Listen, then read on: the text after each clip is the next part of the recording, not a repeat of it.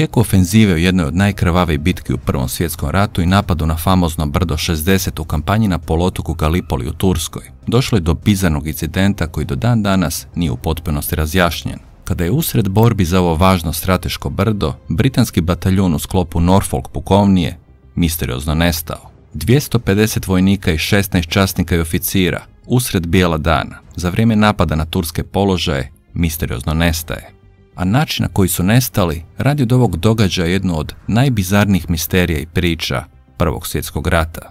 Dobrodošli na Balkan UFO kanal.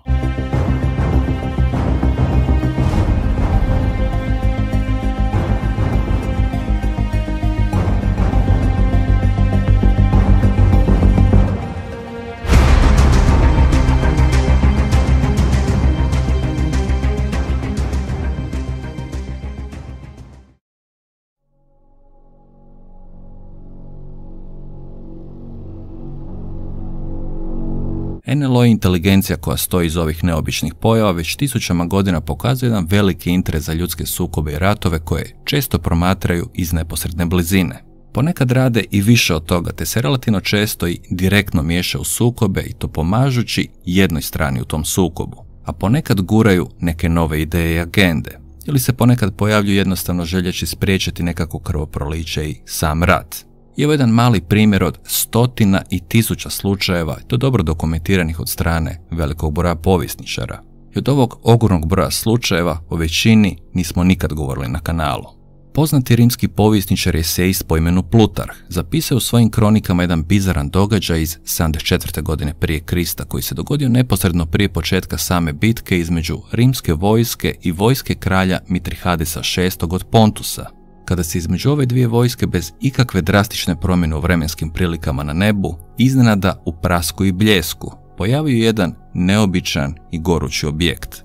Objekt koji je zatim sletio između ove dvije vojske, objekt koji je bio oblika posude za vino i sjajne boje poput rastopljenog srebra.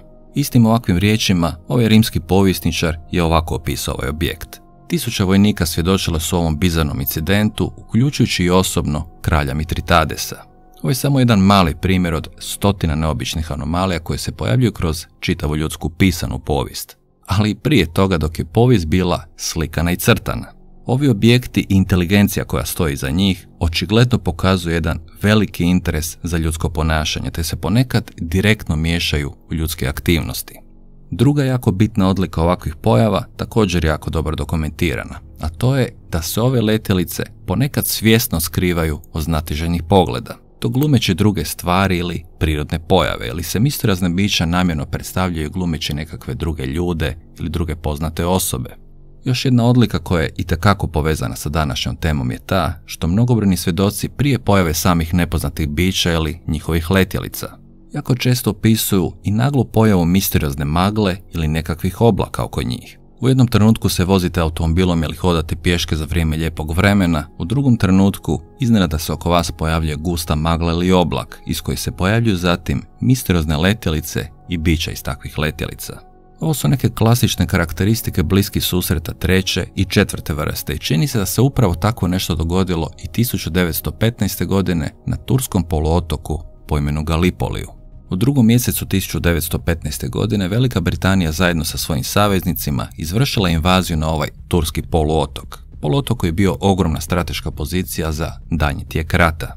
I u narednih osam mjeseci Britanci su u svojim pokušajima osvajanja ovog poluotoka izgubili više od 180.000 ljudi. I bila je to tad u tom trenutku jedna od najviših turskih pobjeda u Prvom svjetskom ratu. Usred brutalne kampanje, jedna od najkrvavijih bitaka vodila se za famozno brdo po imenu 60, brdo kojeg su čvrsto svojim rukama držale turske snage. I upravo na ovom mjestu i ove autentične fotografije koje gledate sa mjesta ove bitke, dogodio se bizarni nestanak britanskog bataljuna od 266 ljudi. U jeku jedne od mnogobrojnih ofenziva, 28.8.1915. godine krenuo je masovni juriš na ovo teško utvrđeno brdo, bio je to britanski zadnji pokušaj ovakve vrste ofenzive. Britanske, australske, novozelandske postrojbe krenule su završni napad na ovo famozno brdo i završni napad nakon kojeg su i teško poraženi. Doslovno tisuće i deseci tisuća ljudi su izginuli u ovom neuspješnom pokušaju osvajanja ovog famoznog brda i kampanja na Galipoli poluotoku je ubrzo nakon toga i bila završena. U tom zadnjem napadu i zadnjim borbama tih dana na bojištu je misteriozno nestala jedna ogromna skupina britanskih vojnika. Neki od svjedoka koji su preživjeli ovaj pokolj opisivali su zadnje trenutke ovih ljudi koji su jurišali na samo brdo. To na čelu sa podpukovnikom po imenu Horesom Proktorom Bushampom. Zadnje što su neki od tadašnjih svjedoka vidjeli bio je njihov juriš kroz kaos i vatru, njihov ulazak u zapaljenu šumu pored brda. I u tom trenutku bio je to zadnji put da su ovi ljudi viđeni. Te nakon toga nestaju sa bojišta te se više nikada nisu vratili. Sve bi ostalo na tome da se 50 godina kasnije, to jest točno 50 godina kasnije, ne pojavljuje nova verzija ove priče koja objašnjava kako su ovi ljudi nestali. I ovaj put sa tri nova svjedoka koji su tog dana bili na bojištu. Na točno 50. obljetnicu iskrcavanja u Galipoliju od 24. do 26.4.1965. godine u Rotouri na Novom Zelandu bilo je organizirano okupljanje ratnih veterana sa Novog Zelanda koji su 50 godina ranije sudjelovali u ovim vojnim operacijama. Među tim ljudima toga dana bio je čovjek po imenu Frederik Reinhardt, ratni veteran s Novog Zelanda koji se nalazio tog dana 1915. godine kod famoznog brda 60. I čovjek koji je saznavši da se u publici nalazi UFO istraživač po Gordon Taki, odlučio on čovjeku ispričati svoju verziju nestanka ovog britanskog bataljuna i priča koju je ispričao te dao potpisanu pismenu izjavu uz drugu dvojicu svjedoka spada u rubriku vjerovali ili ne. Ja ću vam ovu priču sad ovdje prepričati to doslovno kako je napisana, gotovo identičnim riječima. Toga dana svano je dan bez oblaka, jedan očekivan ljetni dan na Mediteranu. Iznimka je bila šest ili osam pravilnih oblaka, do obliku štruce kruha. Ovi neobični oblaci su bili identični oblikom i lebdili su na poziciji iznad brda 60. Primijetili smo da puše vjetar s juga, ali unatoč ovom vjetru, ovi oblaci nisu mijenjali svoje pozicije, niti svoj oblik, te se uopće nisu kretali zajedno s vjetrom. Ovi oblaci su se nalazili na oko 150 metara visine iznad samog brda. Ispod ove glavne grupe oblaka nalazio se još jedan oblak, ali na nižoj visini istog oblika. Bio oko 240 metara dug i oko 60 metara visok i širok, Ovi neobični oblaci su izgledali nevjerojatno gusti, na izgled gotovo solidne strukture. Frederik Reinhard promatrao ove pojave iznad brda 60 sa 22 druga vojnika i to na udaljenosti od oko 2 km od prve crte bojišnice gdje se nalazio bataljun vojnika koji će uskoro misteriozno nestati. Zatim se iz ove skupine neobičnih oblaka oblak koji lebdio na nižoj visini, odvojio od glavne skupine te krenuo spuštati prema tlu i prema samom brdu 60 spustio se gotovo na samo tlo i pretvorio u gustu maglu. Skupina britanske vojnika i bataljun koji se nalazi u neposrednoj blizini počeo se premicati ovom oblaku, iako u tom trenutku nisu imali naredbu za napad na to brdo. Kako su se približavali magli bez imalo okljevanja, britanski vojnici su jedan po jedan ulazili u samu maglu. Cijeli bataljun sa svojim oficirima, to jest više od 250 ljudi, je ušlo ovaj oblak. Oblak koji je lebdio u samo tlo na brdu 60. Kada je i posljednji britanski vojnik ušao ovaj oblak, to je samo maglu, ovaj oblak se polagano uzdignuo iznad tla, došao na visinu gdje se nalazili u tom trenutku drugi slični oblaci, te zatim zajedno ova skupina oblaka jednakom i polaganom brzinom odletila prema sjeveru. Nakon 15 minuta promatrači svjedoci koji su promatrali ovaj fenomen su ih izgubili iz videokruga. Nakon ovih neobičnih scena, ovaj nestali bataljun više nikad nije bio viđen. I ovo svjedočanstvo koje ste upravo čuli pojavilo se točno 50 godina nakon ovih navodnih događaja. Koliko je istinito? Ali prije nego dođemo do toga, uskoro ćete imati priliku vidjeti kako su ovi neobični oblaci možda izgledali. Jer naravno, nažalost nikakve fotografije tog događaja danas ne postoje, ali po samim opisima ovih navodnih oblaka, Odmah mi je palo na pamet da se nešto jako slično vidio na drugom kraju svijeta i na legendarnoj fotografiji takozvanog UFO oblaka iznad holoma vojne baze u Novom Meksiku. I riječ je o ovoj fotografiji. Fotografija koja ukazuje na neke nevjerojatne sličnosti sa nevjerojatnim oblacima i opisima svjedoka iz 1915. godine kod bitke za brdo 60. Ova fotografija koju upravo gledate je autentična fotografija koja je oslikana 16.10.1957. godine na ograđenom području u sklopu Holoman baze. Za vas, nove gledatelje ili one koji su malo zaboravili, Holoma baza je priča za sebe i mjesto na kojem se događale neke jako zanimljive stvari. O jednom od najvećih incidenata smo govorili u ovom jako zanimljivom videu. Ella Louise Fortune, medicinska sestra iz obležnjeg indijanskog rezervata, je vozeći sa autocestom 54 u 1 sat i 30 minuta popodne na nebu primijetila jedan jako neobičan oblak. Izašla iz svog automobila i promatrala ovaj neobičan oblak desetak minuta, te ga je čak i fotografirala svojim Kodak fotoaparatom sa filmom u boji.